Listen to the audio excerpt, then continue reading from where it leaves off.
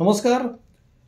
मराठी भाषेमध्ये आपण ज्यावेळेला बोलतो एकमेकांशी त्यावेळेला आपण आपल्या नकळत खूप म्हणी वापरत असतो वाक्प्रचार वापरत असतो लोकोक्त्या वापरत असतो. एकमेकांना आपण दृष्टांत देत असतो दाखले देत असतो. पण ह्या सगळ्या गोष्टी कशा तयार झाल्या? त्याच्या पाठीमागे कुठली घटना घडलेली होती का? किंवा गोष्ट घडलेली होती का? किंवा त्याच्या पाठीमागे काही तर्क आहे का? हे आपल्याला माहिती नसतं.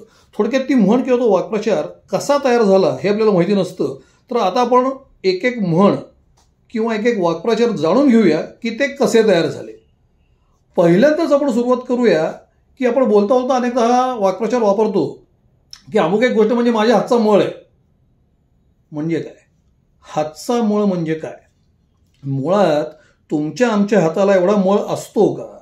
आणि जर का असला तर ते अशा गोष्टींसाठी कसं वापरायचं? म्हणजे श्रीखंड करणं तर माझ्या हातचा मळ आहे. तर आता हातचा मळ आणि श्रीखंड याचा काय संबंध आहे? किंवा कुठली गोष्ट किंवा चांगलं नृत्य करणं हा तिच्या हातचामुळे. आहे आता नृत्य आणि हातचा यांचा काही संबंध आहे का?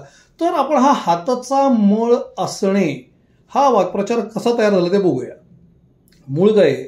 की मूळ ही जी उक्ती आहे ती संस्कृत आहे. काय म्हणले संस्कृतमध्ये?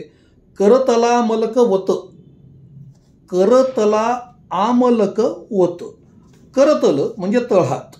आता तळहातावर जर का आमलक ठेवला म्हणजे आवळा ठेवला आणि जर का त्याचं निरीक्षण केलं तर तो आपल्याला सगळ्या बाजूंनी दिसतो. नीट लक्षात घ्या तळहाताचा आकार बघा आवळ्याचा आकार बघा आणि तो आपण जवळून असं जर का बघतोय इथं असा तो ठेवलेला आहे आपण त्याच्याकडे बघतोय. आणि आपण त्याचं संपूर्णपणे निरीक्षण केलेलं आहे त्याच्याबद्दलचं संपूर्ण ज्ञान आपल्याला प्राप्त झालेलं आहे. हे त्याच्यातनं अभिप्रेत होतं.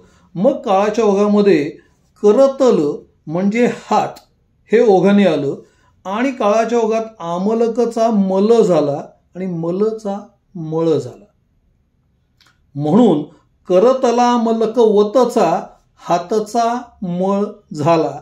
आणि त्याच्यात जे अभिप्रेत होतं की एखाद्या गोष्टीतलं संपूर्ण ज्ञान येणं ती गोष्ट संपूर्ण आत्मसात असणं आणि ती आपल्याला लिलया करता येणं ही हातचा मळ असणे या वाक्प्रचाराची पूर्वपीठिका आहे